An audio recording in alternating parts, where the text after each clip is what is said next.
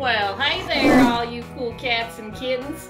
Tiger Queen here. We're going to be doing a little bit of drawing outside today. Now, let me be clear before we uh, break this quarantine. Uh, you know, we're not going to be actually going outside and interacting with other people, right? The CDC wants us to stay at least six feet away from others at all times. But what I am saying is let's just kind of enjoy the natural beauty of our front and backyards and appreciate that in a sort of little drawing type of way. All right. Got my paper and my pencil as well as my lucky boots on, so let's hit it, y'all. So just to start, I'm gonna kind of examinify everything that we got back here. You know, now my backyard might not look like all y'all's backyard. I mean, it's got some pretty funky stuff in it, especially this little tiger right here. Hello, sweetie. Your mama some sugar. This is Turtle. Anyway, back to the lesson. So, we got ourselves a pretty funky little South Austin backyard right here. We got all kinds of little plants and stuff that we're growing for the end times. What kind of shapes do you think you'd be able to draw here, you know? Don't be picking nothing that's a little too hard. You want to choose something that appeals to you, but also is realistic. You know, oh, look at that little darling right there. Now she's a something special. I think we can all agree about that.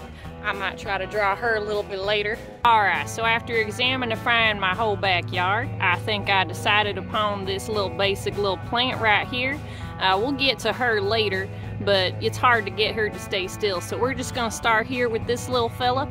If any of y'all remember how to do the uh, blind contour technique or the modified contour technique, now that might actually really help you in this scenario. But I'm gonna start here with this top little leaf, you know, and we're just gonna dive right in. All right. I'm just gonna draw that top guy right there, have it come back down. And I'm to draw some of his little friends here in the middle. Alright. Don't worry about no overlapping now. You know, we clean that up with the eraser later. Alright. Very nice. Bringing it in. Getting all them nice little contours. Contours are basically just like lines, you know. Like when they say the contour makeup, and they're talking about all those dark lines that they then blend later. But before they do all that fancy blending, they're just doing a little contour. So I gave my little plant a name, calling it pepper plant, because I mean that's what it is. It is what it is. And now I'm just kind of adding in a little bit of shading into each of these leaves in the in the center here, a little bit of focus.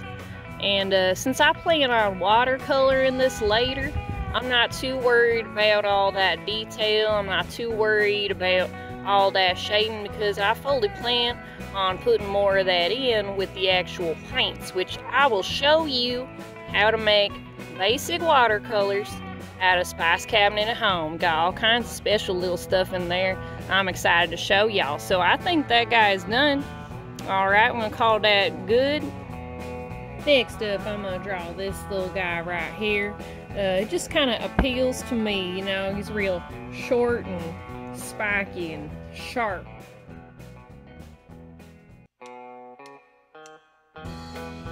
Pretty good if I do say so myself. Now I hear that the weather people have saying that, you know, we might get a little bit of rain showers over this next week, so if you feel like it's a little too wet to be going outside, I recommend you uh, wait a little bit in between rainstorms, take your phone and go snap some photos real quick of the things that you like to draw. Once you got them photos, you just draw them inside. Y'all see what he does to me? Savage. Savage monster.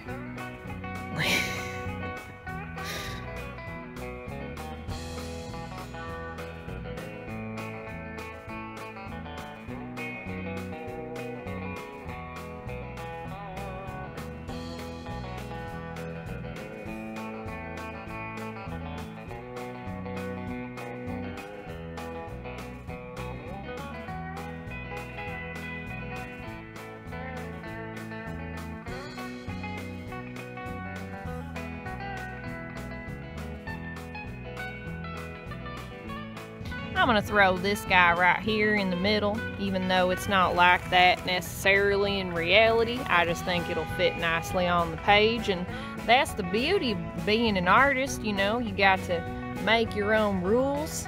You know, it's all about freedom, baby, just like in America. You know, there's really nothing more American than being an artist. Now, earlier I was talking a little bit about the uh, beauty of America. And you know, if you're looking around, you're outside and you're like, I don't really got a whole lot to draw. Uh, you know, we don't have to be drawing plants now. You can just kind of see if you got any objects, for example. Ain't nothing more American than the American barbecue grill. So I think that's what I'm going to be drawing next. I drew a cactus, a pepper plant, a cat, some mushrooms, and a barbecue grill. Now, in order for us to get a 100, you only have to draw three things. I'm a bit of a tryhard and I like to challenge myself, so I drew five. But to get a 100, you got to draw three things and watercolor at least one of them. There, now ain't she a thing of beauty? What do you say we go inside and slap some paint on this thing?